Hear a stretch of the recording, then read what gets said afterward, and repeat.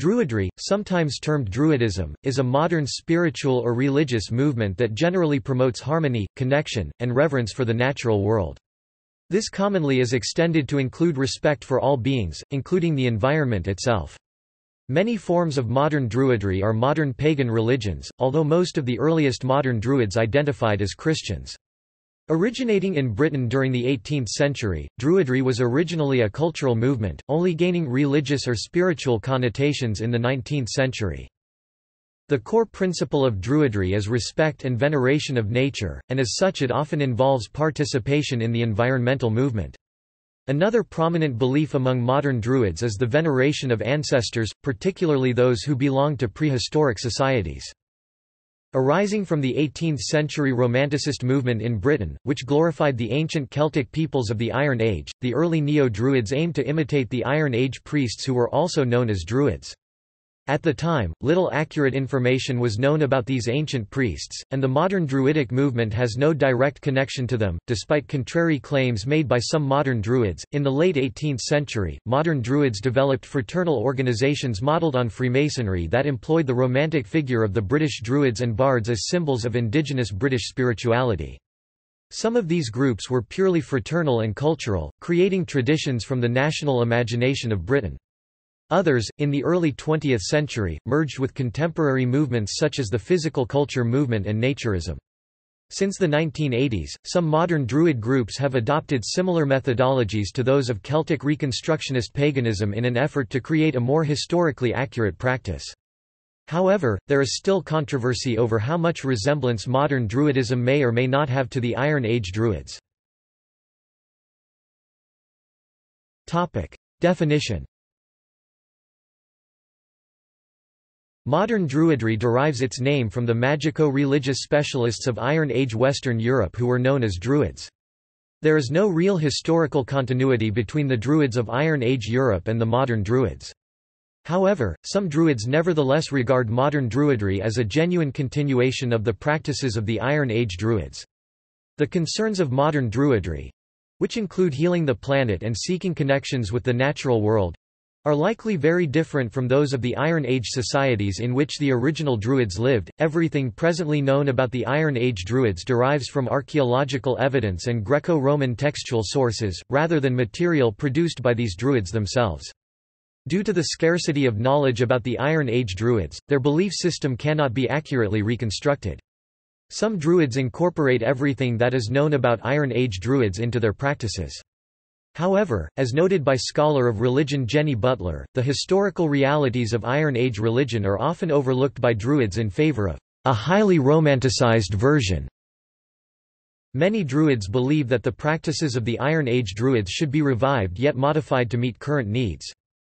In Ireland, some Druids have claimed that because the island was never conquered by the Roman Empire, here the Iron Age Druids survived and their teachings were passed down hereditarily until modern times, at which modern Druids can reclaim them.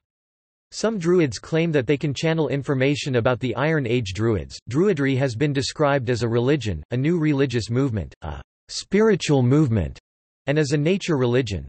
It has been described as a form of contemporary paganism, and on the contemporary pagan spectrum between Reconstructionism and eclecticism, Druidry sits on the latter end. Various Druidic groups also display New Age and neo-shamanic influences. The Druidic community has been characterized as a neo-tribe, for it is disembedded and its membership is elective.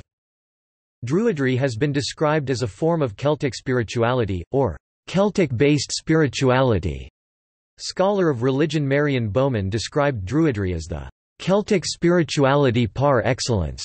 Some practitioners regard Druidry as a form of native spirituality, and it displays an affinity with folk religions. In defining Druidry as a native spirituality, some Druids seek to draw elements from other native religions, such as the belief systems of Australian Aboriginal and Native American communities. Practitioners differ in the levels of formality and seriousness that they bring to their adherents. Some groups use the word druid for both male and female practitioners, eschewing the term druidess for female followers.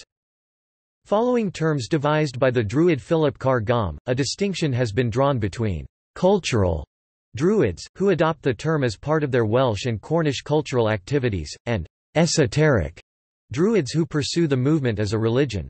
The scholar of religion Marion Bowman suggested, "...believing", as an alternative term to "...esoteric".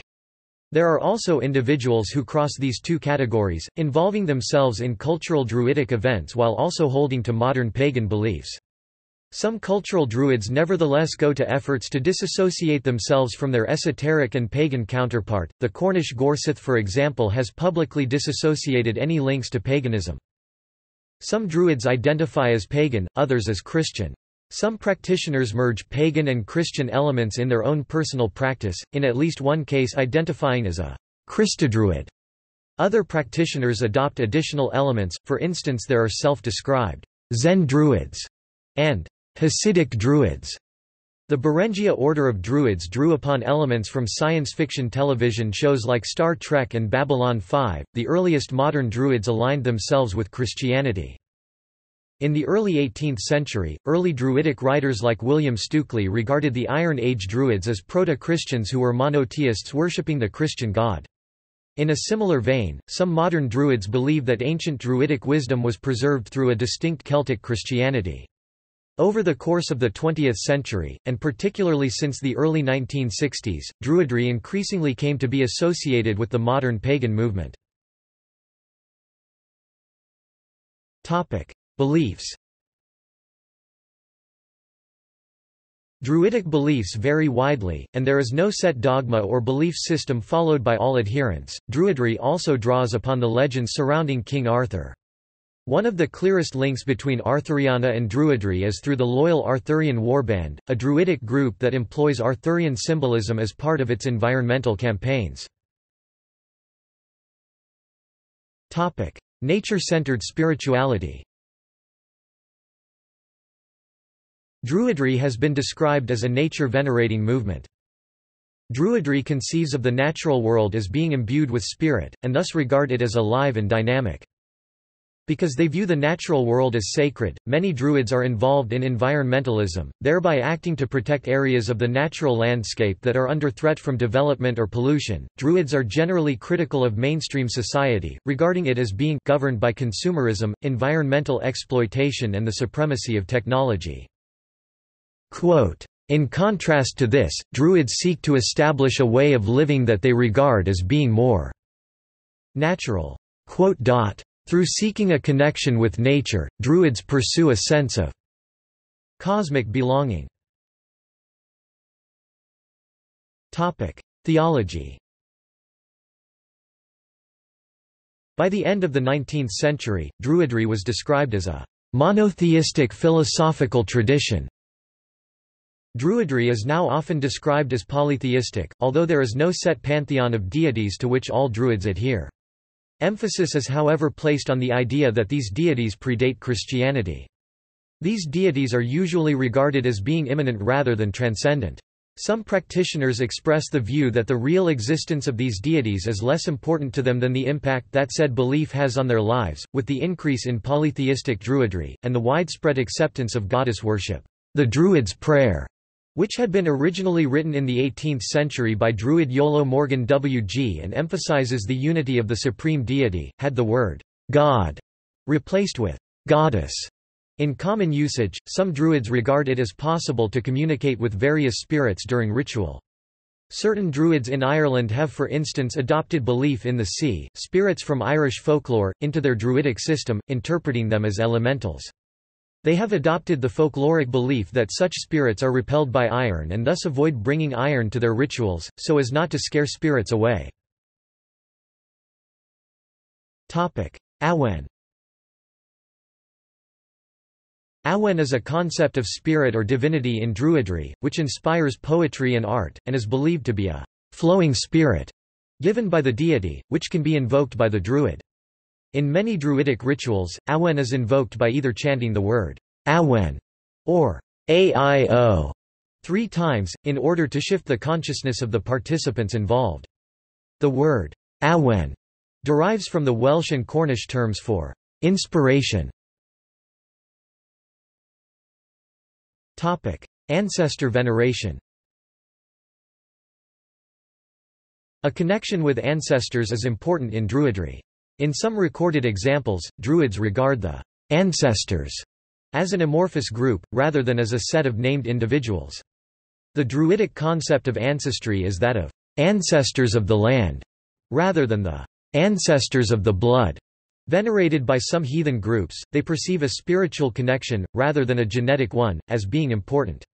Emphasizing ancestors gives practitioners a sense of an identity which has been passed down from the past over the course of many centuries. Ancestor veneration leads many to object to the archaeological excavation of human remains and their subsequent display in museums. Many have organized campaigns for their reburial. For instance, in 2006, a neo-Druid called Paul Davies requested that the Alexander Keiller Museum in Avebury, Wiltshire rebury their human remains, and that storing and displaying them was immoral and disrespectful.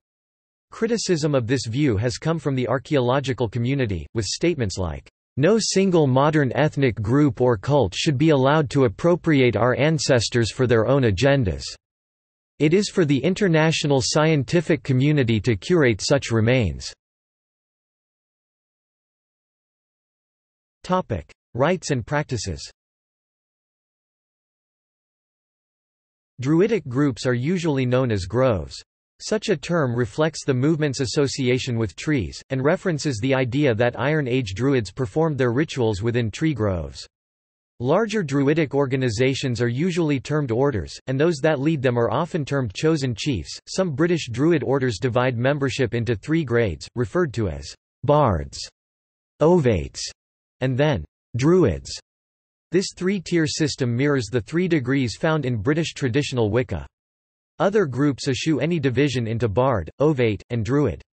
OBOD primarily educates its members in its form of Druidry through a correspondence course. Ceremonies. Each Druidic grove conducts its rituals and ceremonies in a unique way. Druidic rituals are designed to align their participants with the spirit-imbuing nature. According to the anthropologist Thorsten Gieser, Druidic rituals are best seen not as a set of formalized actions but as a stance, an attitude, a particular mode of experience and perception which gives rise to a feeling of being in the world, a being part of nature. The practices of modern Druids typically take place outside, in the daylight, in what is described as the eye of the sun meaning around midday. In some cases, they instead perform their rites indoors, or during the night. Druidic rituals usually reflect on the time of year and the changing of the seasons. Druidic rituals often involve the participants standing in a circle and begin with a calling of the quarters, in which a participant draws a circle in the air in a deosil direction to hail the north, south, east, and west, marking out the space in which the ceremony will take place. Libations may be poured onto the ground while a chalice of drink is passed around the assembled participants, again in a deosil direction. Food, often in the form of bread or cake, is also passed around the Druids and consumed. This may be followed by a period of meditation among those assembled. A form of earth energy is then visualized, with participants believing that it is sent for a designated healing purpose. This may be designed to help the victims of a particular event, such as a war or an epidemic, or it might be directed to assist individuals known to the group who are ill or requiring emotional support. After the end of the ceremony, the Druids may remain together to take part in a meal, or visit a nearby pub. There is no specific dress code for ritual within the Druidic movement, some participants wear ordinary clothes, others wear robes. Some groups favor earth-colored robes, believing that this links them to the natural world and that it aids them in traveling unnoticed when going about at night. Celtish language is often employed during ceremonies, as are quotations and material from the Carmina Gadelica. Most use some form of Morganwg's Gorsedd prayer. Some druids also involve themselves in spell casting, although this is usually regarded as a secondary feature among their practices. Topic: Locations for ritual Rituals commonly take place at formations in the natural landscape or at prehistoric sites, among them megalithic constructions from the Neolithic and Bronze Age or earthworks from the Iron Age. Druids often believe that, even if the Iron Age Druids did not build these monuments, they did use them for their rites. Performing rituals at said sites allows many Druids to feel that they are getting close to their ancestors.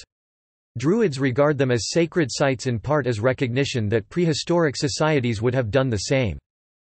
Druids in various parts of Ireland and Britain have reported such sites being home to a spirit of the place residing there. Many Druids also believe that such sites are centers of earth energy and lie along ley lines in the landscape. These are ideas that have been adopted from earth mysteries writers like John Michell. In the popular imagination, Druids are closely linked with Stonehenge—a Neolithic and Bronze Age site in Wiltshire, southern England. Although Stonehenge predates the Iron Age and there is no evidence that it was ever used by Iron Age Druids, many modern Druids believe that their ancient namesakes did indeed use it for their ceremonies. Druids also use many other prehistoric sites as spaces for their rituals, including stone circles like that at Avebury in Wiltshire. Some Druids have erected their own, modern stone circles in which to perform their ceremonies. Druidic practices have also taken place at early Neolithic chambered long barrows such as Wayland's Smithy in Oxfordshire, and the Coldrum Long Barrow in Kent. In Ireland, Druids perform ceremonies at one of the island's best-known prehistoric sites, the Hill of Tara. In 2000, scholar of religion Amy Hale noted that Druidic rituals at such prehistoric sites were increasingly more common. She regarded the stone circle as a symbol of an imagined Celtic past, shared by both Druids and Gorseth bards. As well as performing group rituals at sites, Druids also visit them alone to meditate, prayer, and provide offerings. Aside from Sabbat rituals, rites of passage can also take place at such sites, such as a Druidic baby naming ceremony which took place at Kent's Chestnuts Long Barrow. Attitudes to land and environmental conservation are important to the Druidic worldview. In 2003, Druids performed a ritual at the Hill of Tara to heal the location after road construction took place in the adjacent landscape. Others have carried out rituals at Coldrum Long Barrow to oppose fracking in the landscape. Druids have also involved themselves in tree planting projects. In the 1990s and early 2000s, the use of a ritual based on the Sweat Lodge became increasingly popular among some neo Druids in Ireland and the UK. Some Druids regard these sweat lodges as initiatory and regenerative opportunities to rededicate oneself to honoring the earth and the community of life. This practice is regarded differently by different individuals. Some practitioners regard it as a revival of genuine pre-Christian Druidic practices, others see it a creative and respectful borrowing from one native spirituality into another, and a third school of thought regards it as a form of cultural theft. Native Americans who preserve the sweat lodge ceremonies for their communities have protested the appropriation of the ceremony by non-natives, increasingly so now that people have been injured, and some have died, in fraudulent sweat lodge ceremonies performed by non-natives. Arts and poetry In Druidry, a specific ceremony takes place known as an Eisteddfod, which is dedicated to the recitation of poetry and musical performances. Within the Druidic community, practitioners who are particularly skilled in their recitation of poetry or their performance of music are referred to as bards. Although bardism can also be found in other pagan traditions such as eco-paganism, it is of particular importance within Druidry. Bards perform at Eisteddfod at various occasions, from formal rituals to pub get-togethers and summer camps and environmental protests. Among the Druidic community, it is often believed that bards should be divinely inspired in producing their work. Storytelling is important within Druidry, with stories chosen often coming from the vernacular literature of linguistically Celtic countries or from Arthurian legend. Musical performances typically draw from the folk musical traditions of Ireland, Scotland, England, France, and Brittany. Instruments used commonly include lap harps, mandolins, whistles, bagpipes, and guitars. Bards utilize archaic words such as twas, thence, and deeds, while speaking in a grandiose manner of intonation. The general purpose of bardism, according to scholar of religion and bard Andy Letcher, is to create an ambience of a catch-all ahistorical past, a Celtic, medieval, Tolkienesque, once-upon-a-time enchanted world. Instruments commonly used by Druidic bards include acoustic stringed instruments like the guitar and the clarsach, as well as the bodhrán, bagpipe, rattle, flute and whistle. The scholar of religion Graham Harvey believed that these specific instruments were preferred by modern Druids because many of them were Irish in origin, and therefore gave a Celtic flavour, seemingly invoking the Iron Age. The period during which the ancient Druids lived, groups like the British Druid Order have established their own Gorseto. Unlike the Welsh cultural Gorseto, these druidic events often allow anyone to perform as a bard if they are inspired to do so. Druids have participated in other musical genres and with more technological instruments, including the blues and rave music, and one British club, Megatripolis, opened with the performance of a druidic ritual. Other practices Among many Druids, there is a system of tree lore, through which different associations are attributed to different species of tree, including particular moods, actions, phases of life, deities and ancestors. Different species of trees are often linked to the Ogham alphabet, which is employed in divination by Druids. Rather than Ogham, some practitioners favor Coelbren—an alphabet likely devised by Iolo Morganwg, for their divinatory practices, many Druids engage in a range of healing therapies, with both herbalism and homeopathy being popular within the Druidic community. Druids often revive older folk customs for use on their practices. The England-based secular order of Druids for instance possess a hobby horse based on that used in the Obby Oss festival of Padstow, Cornwall. Festivals Druids generally observe eight spiritual festivals annually, which are collectively known as the Wheel of the Year. These are the same festivals usually celebrated by Wiccans. In some cases groups attempt to revive folkloric European festivals and their accompanying traditions. In other cases the rites are modern inventions, inspired by the spirit of what they believe was the religious practice of pre-Roman Britain. For reasons of practicality, such celebrations are not always held on the specific date of the festival itself, but on the nearest weekend, thus maximizing the number of participants who can attend. Four of these are solar festivals, being positioned at the solstices and equinoxes. These are largely inspired by Germanic paganism. The other four are the Celtic festivals, the cross-quarter days inspired by modern interpretations of ancient Celtic polytheism. The idea of the Wheel of the Year was introduced into Druidry by Ross Nichols, who founded the Order of Bards, Ovates and Druids in 1964, and he had gained this idea from his friend Gerald Gardner, who had implemented it in his Bricket Wood Coven of Gardnerian Witches in 1958. History Origins The Druidic movement originated among the Romanticist ideas of the ancient Druids that had begun to be developed in the 17th and 18th centuries. While many early mediaeval writers, particularly in Ireland, had demonized the ancient Druids as barbarians who had practiced human sacrifice and tried to suppress the coming of Christianity, certain late mediaeval writers had begun to extol what they believed were the virtues of the Druids, and reinvented them as national heroes, particularly in Germany, France and Scotland. It was also during this period that Conrad Celtis had begun to propagate the image of the Druids as having been bearded, wise old men wearing white robes, something that would prove highly influential in future centuries. The image of the Iron Age Druids as national heroes would later begin to emerge in England during the early modern period, with the antiquarian and Anglican vicar William Stukeley (1687–1765) proclaiming himself to be a Druid and writing a number of popular books in which he claimed that prehistoric megaliths like Stonehenge and Avebury were temples built by the Druids, something now known to be incorrect.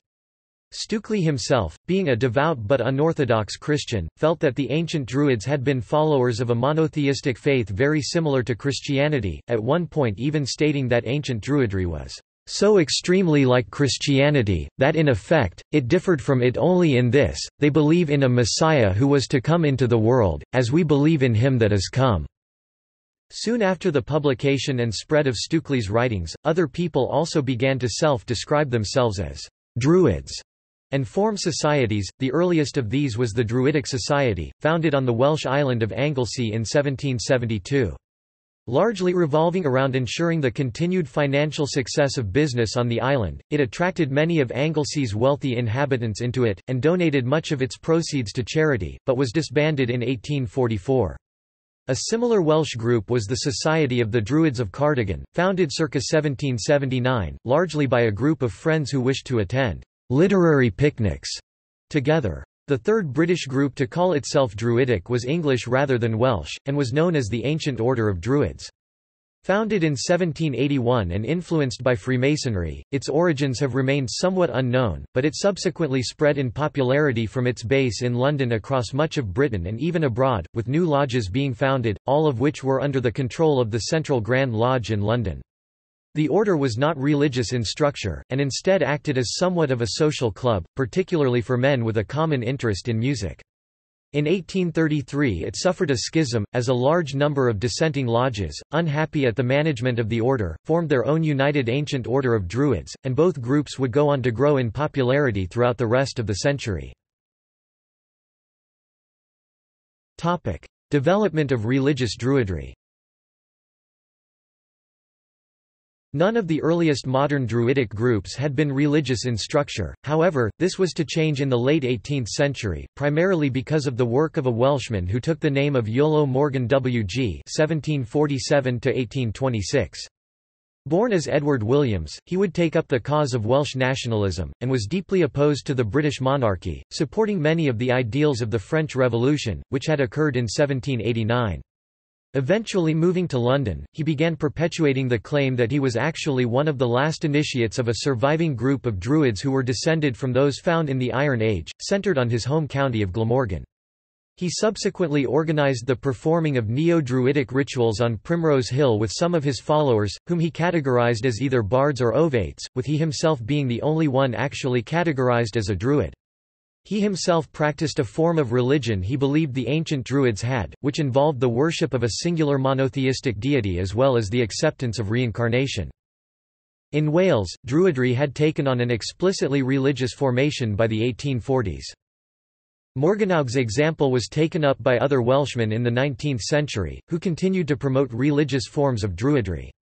The most prominent figure in this was William Price (1800–1893), a physician who held to ideas such as vegetarianism and the political Chartist movement. His promotion of cremation and open practice of it led to his arrest and trial, but he was acquitted, achieving a level of fame throughout Britain.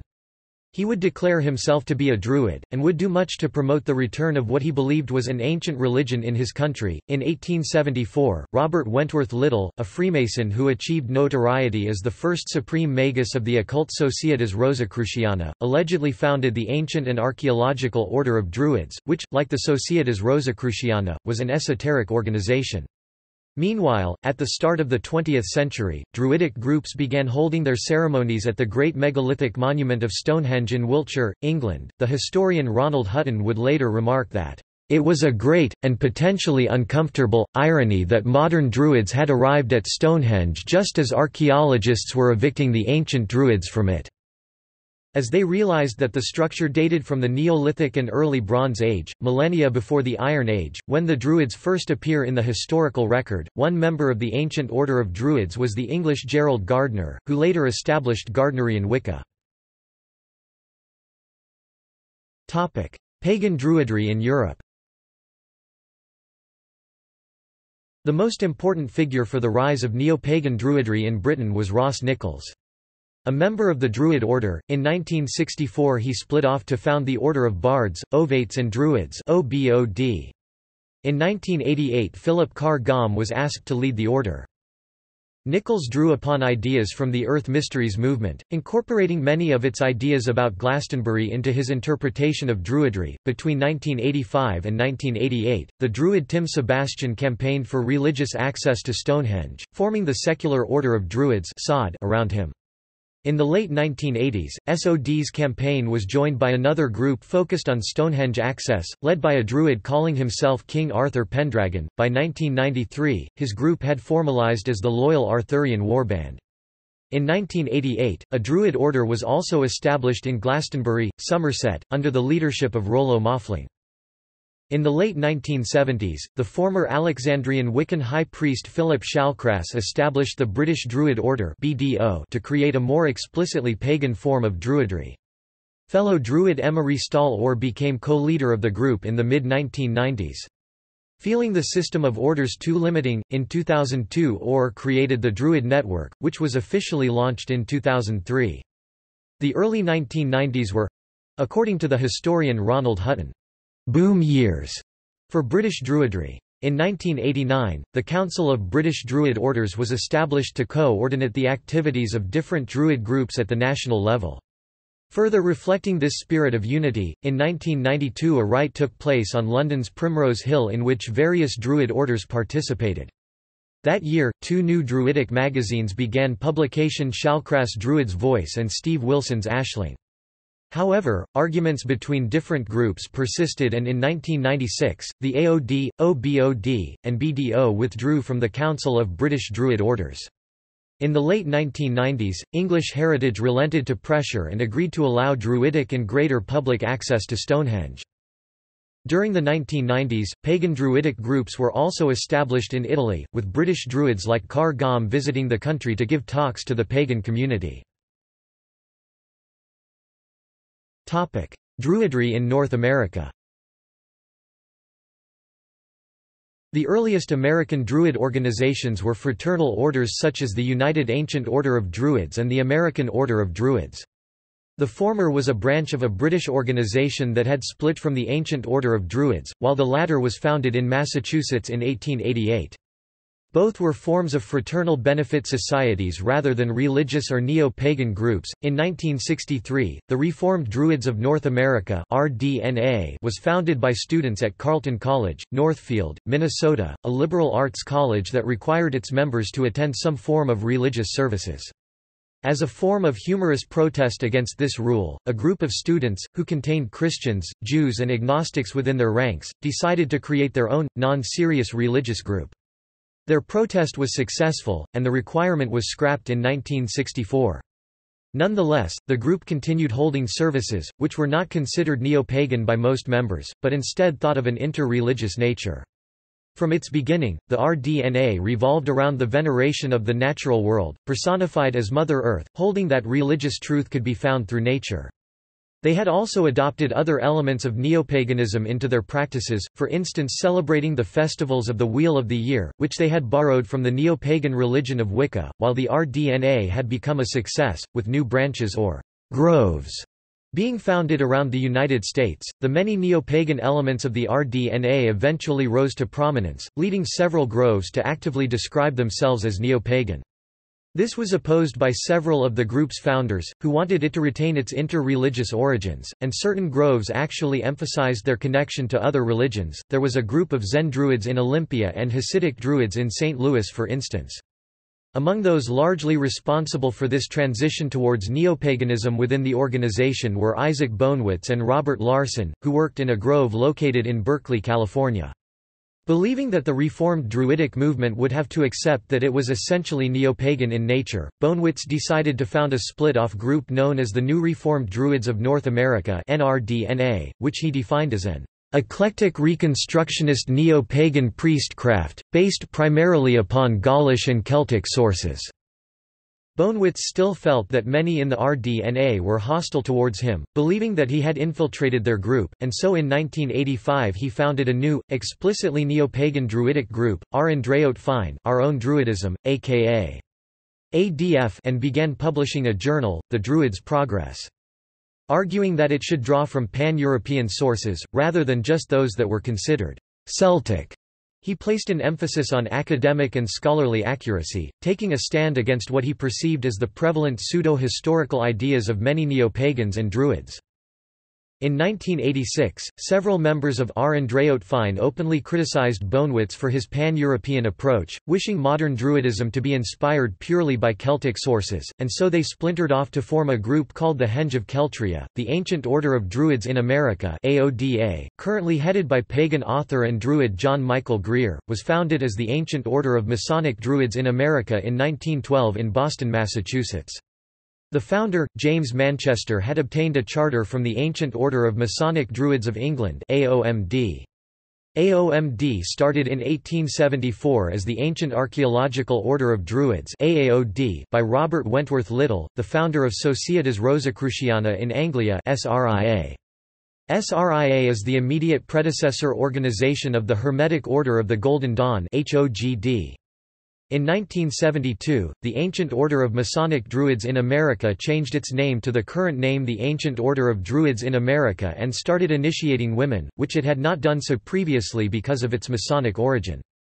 It was also at this time that AOMD denied ever having recognized AOMDA and wasn't interested in doing so at that time. Demographics At the start of the 21st century, Druids could be found in most European countries and countries with large European-descended communities. Druids do not seek to convert everyone else to Druidry. According to the American Religious Identification Survey there are approximately 30,000 Druids in the United States. In August 2007, the ADF claimed 1177 members, spread over 61 groves. Scholar of religion Michael T. Cooper found that, among 57 ADF members, 37% had previously been Christian, and that a common theme among participants in the group was disillusionment with Christianity, a religion that they regard as an oppressive force which has subordinated women and damaged the environment. The Pagan Census Project, led by Helen A. Berger, Evan A. Leach, and Leigh S. Shaffer, gained responses from Druids in the U.S. Of these respondents, 49.7% were male and 48.2% female female 2% did not answer, which reflected a greater proportion of men than the American pagan community as a whole, which had a female majority. 73.6% of Druid respondents described themselves as heterosexual, with 16.2% as bisexual, 3% as gay men and 1.5% as lesbian. This reflected a greater proportion of heterosexuals than in the broader American pagan community. The median income of these Druids was between $20,000 and $30,000, which was lower than the average for pagans. They project revealed that 83.8% of Druid respondents were registered to vote, which was lower than the proportion across the broader pagan community 87.8%. Among these Druids, 35.5% were registered independents, 31% Democrats, 5.1% Libertarians, 4.6% Republicans, and 3.6% Greens. The historian Ronald Hutton estimated that, in 1996, there were approximately 6,000 members of Druid groups in England, two thirds of whom were OBOD members. The 2001 UK census, 30,569 individuals described themselves as Druids and 508 as Celtic Druids. In September 2010, the Charity Commission for England and Wales agreed to register the Druid Network as a charity, effectively giving it official recognition as a religion.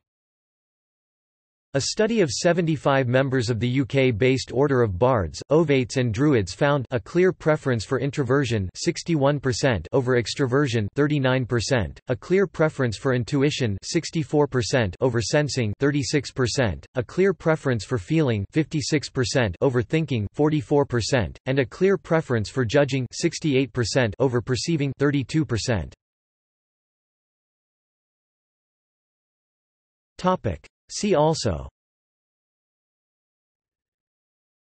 Celtic neopaganism. List of Druids and Neo-Druids. References. Footnotes. Sources. Further reading Topic: Primary sources.